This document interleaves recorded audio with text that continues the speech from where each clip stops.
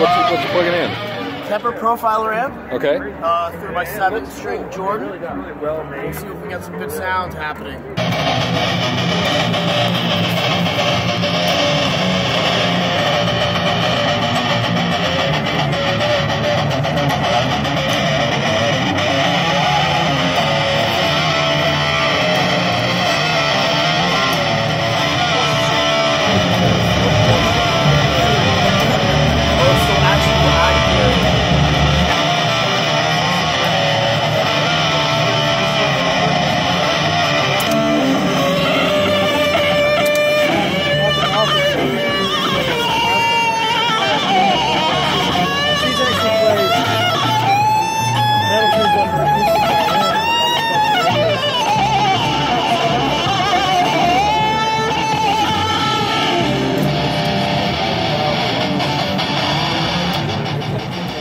Tell, us about the violin. So it's a Jordan seven string. Uh huh. Uh, I had it spec spec to my hands, which, like our current president, are very small.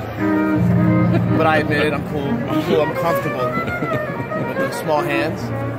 Um, so therefore, the neck is uh, shaped to kind of uh, accommodate my small hands.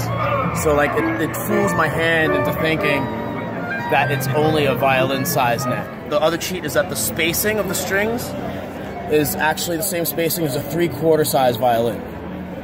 So, and I feel like it's okay because I'm not really playing any Bach partitas on this thing anyway. So I don't, I mean, like, you know, the, the spacing's alright. So uh, there's that. I took off a little modifications from the Jordan. I decided to opt out for the, comes with a shoulder rest, it comes with a wolf or a Kun, but I didn't want that. I, I just put two uh, shoulder pads and, uh, and a strap because um, the shows that I would play, I'd like throw myself like you know into people.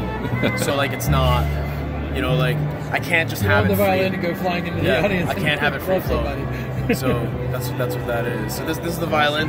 This is an Arcus bow, which is super light and super powerful. As you can tell, you could you, it takes a lot of effort. It takes a lot of uh, force, uh, physical force, to make the, the B flat strings move. So.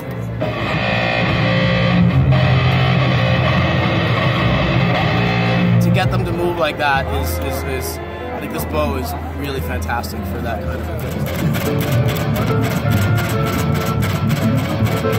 thing. Hey, how many strings do you go through a year? I don't, not that many. Really? Not that many. I mean, the, the, the low ones really, really go. Really last for a long time. I've had these on for like a year. Really? Yeah, the uh, uh, the higher ones go pretty fast, but these and there's also the grind, not not grind, but there's a like the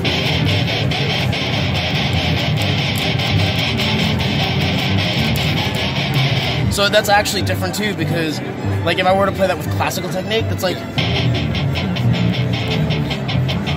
sounds like Yeah, you never get that. no, you don't get it. So you have to.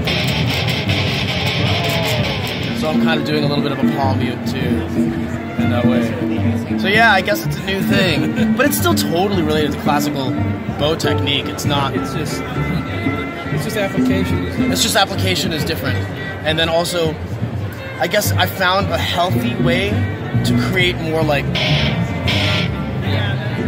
It's a, it's just allowing my whole hand to pronate instead of like letting something go out of whack.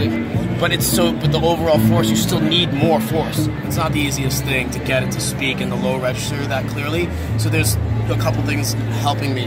The Kemper also is really helping me in terms of that thing because it's a cheat. It's actually a cheat because with tube amps that are natural like that, you get actually the, the, the natural limitation of the short fat string. It's all physics, right? So you're gonna get like angry bee farts, is mm-hmm. like because the tube sound is honest. But the Kemper does such a fantastic job of this, with, through the zeros and ones of making making it sound realistic. That it's still all computers doing it, but that it works. So that's my sound. All right. Thanks, Earl. Yeah. Appreciate it.